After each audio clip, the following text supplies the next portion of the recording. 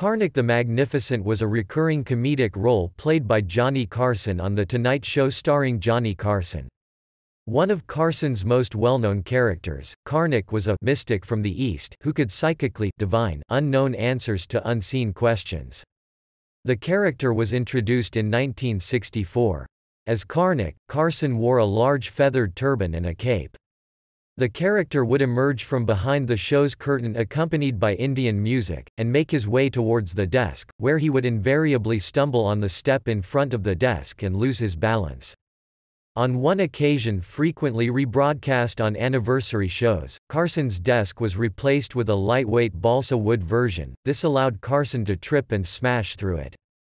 The character was taken from Steve Allen's essentially identical Answer Man segment, which Allen performed during his tenure as host of The Tonight Show in the 1950s.